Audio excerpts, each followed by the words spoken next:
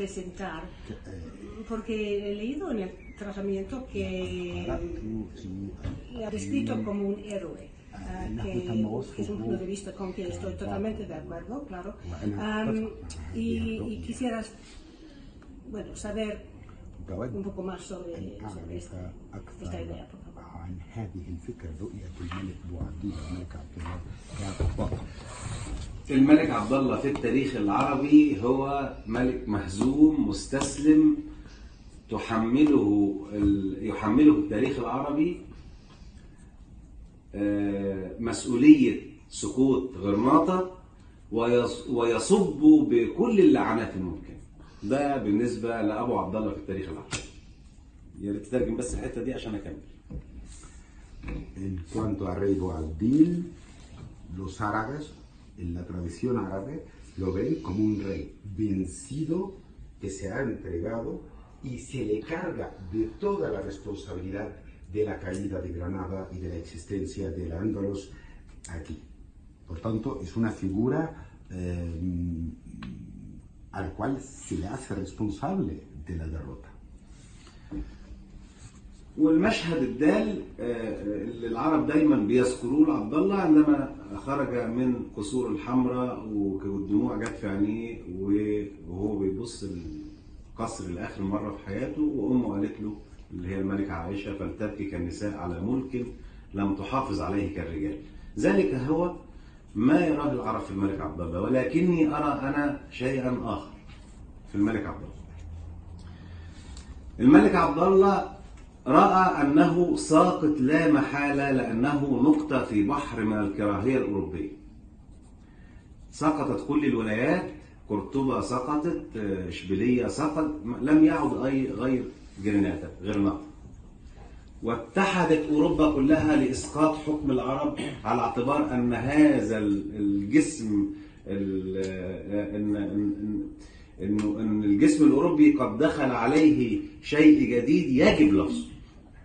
وده كان الإحساس وحولوها لحروب تقريبا دينية. وده اللي حصل كمان بعد حتى بعد السقوط من مأساة المولوسكيين وال يعني والمذابح وال- والتعذيب اللي حصل عبر 300 سنة للتنصير اليهود والمسلمين. عبد الله هو من الملوك القليلين يمكن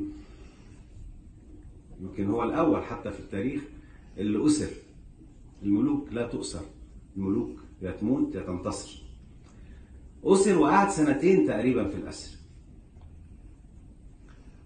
معرفش أنا كده طولت أكمل ولا؟ آه، أنا رأيي إنه آه، شخص نادر في التاريخ. آه، هذا الملك كان عنده 30 سنة عندما آه، سقطت غرناطة 31 سنة بالظبط. كان لسه في شبابه وكان يستطيع أن يحارب ال- ملوك قشتالة وليون أو إيزابيلا وفرناندو عشرات السنين ولا ولا يس ولا تسقط غرناطة في عصره ولا تحمله ولا يحمله التاريخ العربي أي لعنات ولكن لأنه عاش تجربة الأسر و... وكانت تجربة قسوتها في إن هم حطوه في قفص حيوانات وجروه بعربية بالحصنة ومشوه في شوارع قرطبة. وكان على الجانبين مواطنين أسبان بيحدفوه بالطوب وبالحجارة و... وبيشتموه ومواطنين عرب بيزرفوا الدمعات الدموع حزنا على ملك عربي مأسور هو عبد الله لم يكن ينظر إلى من يقذفه بالحجارة ولا من يبكي من أجله ولكنه ينظر إلى المباني والنقوش المعمارية الإسلامية العربية اللي موجودة في على طول طريق كيف هدمت وحرقت واختفت معالم معالم الحضارة العربية الإسلامية من شوارع قرطبة وهو يمشي فيه. هذا ما كان يفكر فيه عبد الله من وجهة نظري. ممكن آه، كفاية كده. كمل هكمل لك عشان ده مهم. En cuanto a Boabdil, yo creo que es una personalidad mm, históricamente un poco rara, ¿no? Porque él eh, dejó el poder a los 31 años, era muy joven. La caída de Granada eh, ocurrió cuando él tenía, tenía 31 años. Con esta juventud podía haber guerreado, podía haber entrado en conflicto con los reyes católicos durante unas decenas de años, incluso 10 años o más. Pero y- y عبد الله أدرك أنه ساقط لا محالة هو أو أحفاده لكن لو سقط في حرب ستزول معظم المعالم الحضارية كما أزيلت من قرطبة ستزول من جريناتا فكان شرطه لتسليم عرش غرناطة شرطين الشرط الأول حرية العبادة لليهود والمسلمين. والشرط الثاني هو عدم المساس بالنقوش المعمارية الإسلامية أو المباني التاريخية ال- العربية الدالة على حضارة العرب. لأنهم مسجد الكبير مثلا في قرطبة حول إلى كات- كات- كاتدرائية. ومباني كتير هدمت مدينة الزهراء اللي هي الأثر الباقي تقريبا الوحيد في قرطبة.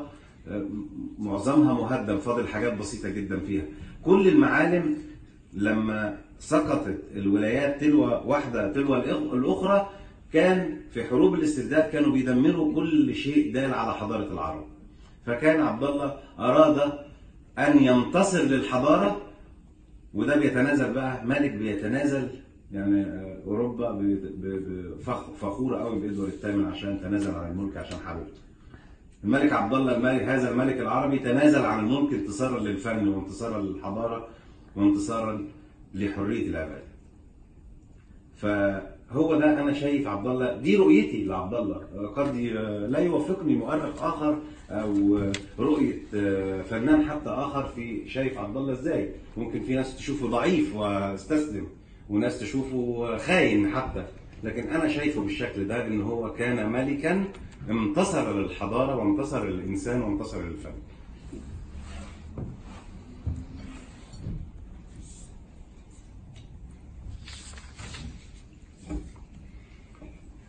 Como he mencionado anteriormente, el rey Boabdil sabía perfectamente que sí o sí iba a perder Granada, la caída de Granada era algo...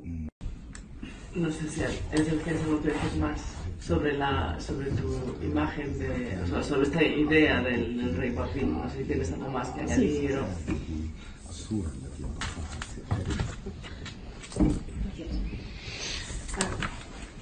Bueno, sí. Uh estoy totalmente de acuerdo con, con su punto de vista.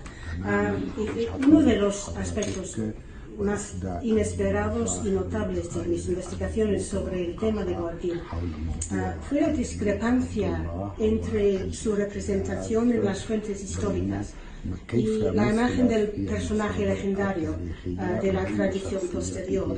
y, y las referencias al sultán en las fuentes contemporáneas y mayormente cristianas porque solo se conserva una fuente árabe ah, contemporánea. Ah, casi siempre se alaban su valor, eh, su brío, sus mucho antes del- de la caída de Granada y fue ocurrió en el contexto de la, de la crisis del califato de Córdoba. Por lo tanto, no se puede vincular con la acción de los conquistadores de los cristianos, sino que fue producto de la, de la realidad que se vivió en Córdoba a consecuencia de la crisis desencadenada como consecuencia del de, la, de la crisis del califato omeya. Y eh, la mezquita de